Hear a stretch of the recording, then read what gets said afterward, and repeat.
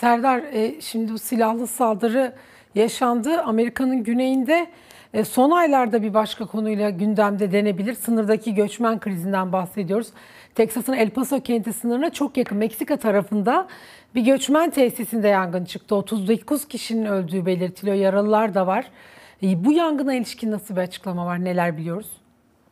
Feci görüntüler var. Yetkililer pazartesi gecesi Meksika'nın kuzeyinde Amerika Birleşik Devletleri'nin senin de dediğin gibi hemen sınırına yakın hükümet tarafından işletilen e, bir göçmen tesisinde yangın çıkıyor.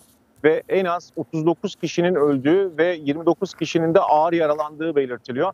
Tesis tarafından bir açıklama yapıldı, tesis yetkilileri tarafından. El Paso ve Teksas'ın karşısında bir sınır şehri Cuidat, e, Juarez'de e, Ulusal Göç Enstitüsü tesisinin konaklama alanında bu yangın e, yerel saatte 22 sularında çıkıyor ve e, söz konusu tesiste Orta ve Güney Amerika'dan gelen 68 erkek barındırılıyordu.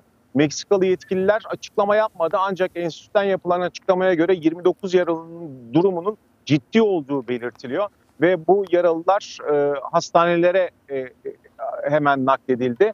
Meksika Devlet Başkanı'ndan e, Obrador'dan da açıklama var. Tesiste bulunan erkeklerin özellikle Meksikalı yetkililere kızgın olduğunu belirtiyor. E, çoğunlukla Orta Amerika ve Venezuela'dan geldiğini söyledi devlet başkanı ve televizyon görüntüleri de e, feci diyebiliriz. Polis arabaları, ambulanslar ve diğer acil durum araçlarının bölgeye nakledildiği ve tesisin otoparkında yaralanan kişilerin üzerlerinin örtüldüğü ve ceset torbalarının sıra sıra dizildiği belirtiliyor.